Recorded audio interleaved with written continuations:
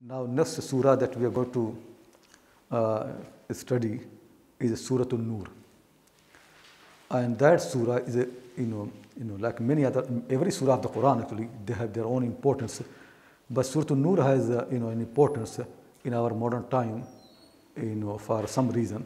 So one of the important thing is that in the society, as I mentioned, that, you know, Allah subhanahu wa ta'ala has made a test of the people by the people. So poor people are tested against rich people, rich people against the poor people, you know, rulers against the subject, subject, subject against the rulers. So there's so, much test happening, in, you know, in the world. One of the tests also is uh, the, you know, test of the men by the women and test of the women by the men. Because both have to live in the same society. Both are human beings. They live in the same houses. They live in the same, same society. They study in the same place. They teach in the same place because they are human beings and they learn from each other. They have the same mind. You know, everything same.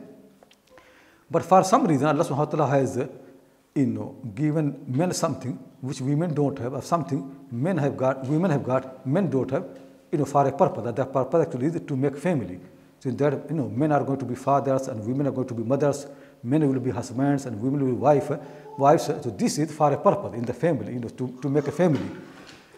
And for that purpose, Allah ta'ala also has put desire in the men and also in the women. The men have desire for the women and women have desire for the men. This desire is to help this family.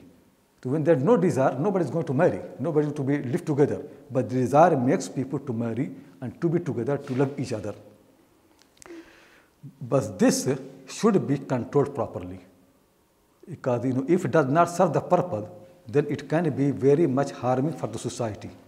If the desire helps the purpose, and because of desire people get married, they have family, they look after each other, so this is a good thing. That how every desire should do anyway. Because for example, we have desire for eating.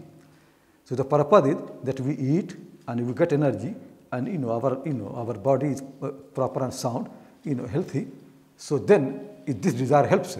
So desires always are helpful if they are controlled properly. The same thing, desire of the men for the women and women's desire for the men, which is sexual desire, it is very important. It really for a purpose. It should serve the purpose. Where it does not serve the purpose, it can be very, very harmful. And uh, when it does not, uh, you know, serve the purpose, when people take desire just for the sake of the enjoyment. If somebody eats only for enjoyment, without any consideration for the health, he is going to ruin, ruin his health.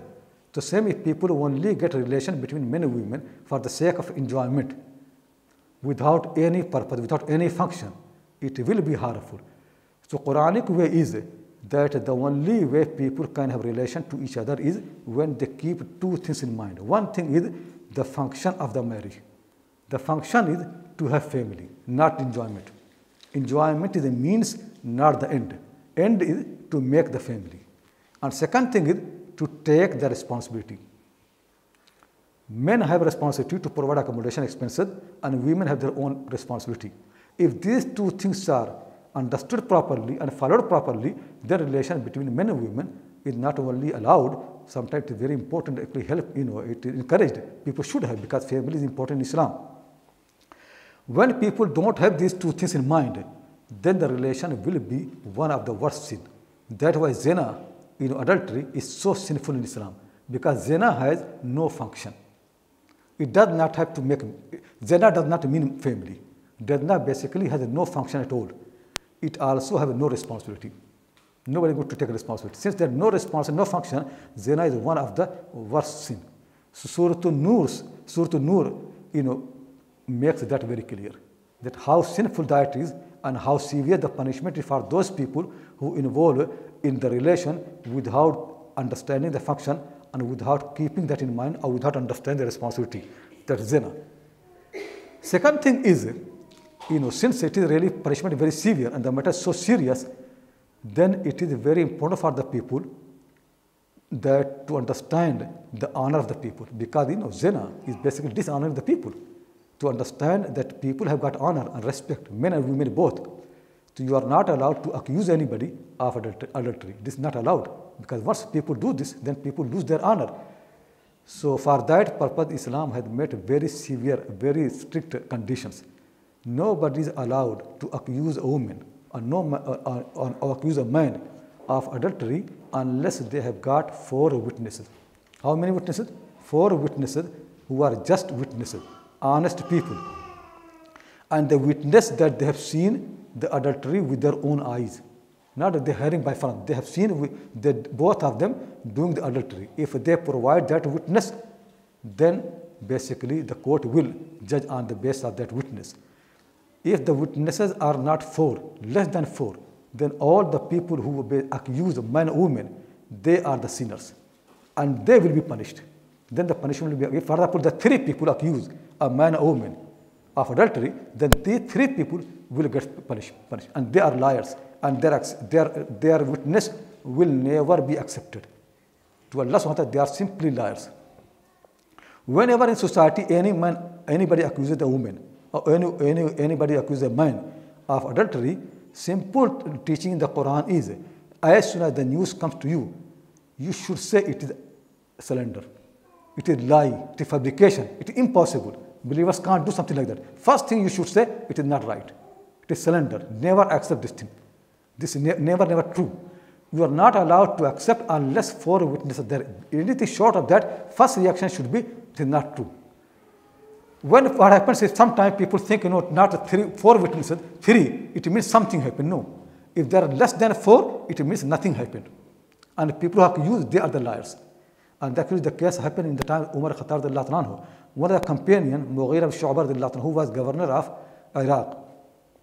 One of the companion, Abu Bakr Thaqfi anhu, he, after Isha prayer, it came to his mind that Mughira and Shoba is entering into the house of a lady to have a relation with her. She is not his wife. He asked three other people to witness because he knows if he witnesses, he will be punished. So he found three other people to now four. Four people went and witnessed as they think. Then they wrote down to Umar Khattab that we four people witnessed Mughira doing zina. Umar Khattab became very you know, scared, you know, alarmed. He asked Mughira to come to Medina and asked these four people to come to Medina. They came. He asked each one of them, Did you witness zina happening with your own eyes? The three of them said, Yeah, we have seen the zina happening with our own eyes. The fourth one, Ziyad ibn Abi, he said, I saw both of them in the same bed, wrapped in the same blanket, in the same bed.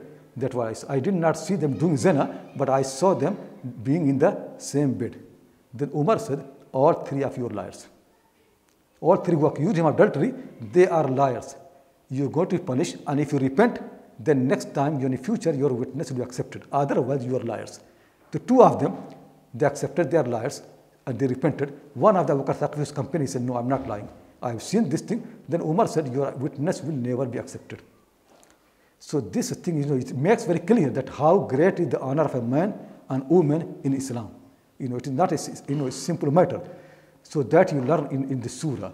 And simply, and also another thing really, in our time, we want to raise our children, you know, pure people, from with purity, not involved in the sin. You know, we have to learn really in the surah how Allah subhanahu wa ta'ala advises, how teaches that, that we can keep you know, the purity of the, your children and your family and your, your own purity, you know, properly sound, you know, intact. So this we need to learn. Surah An-Nur really is, you know, surah for everybody, especially for the people of the family. They teach their children, they teach generation, generation how to pure. And then this surah has got this amazing verse of um, uh, verse of the light, Ayatul Nur, which is Allah Nuru Samawat, that we need to understand why that verse has come in this surah where the Quran mentioned all these issues, and suddenly you find this surah, this amazing verse, verse of the light, we discuss you know such amazing things, such a nice way, why it is there. You know, what, what the role this surah is this this verse is doing in this whole so how it is you know keeping all the contents of the surah together. So inshallah that will become you know in uh, during the you know course uh, of the time when we I teach this this surah and I think it is around spread over six sessions. So it's going to start in November until until the month of April, six sessions for Surah Nur, uh, inshallah.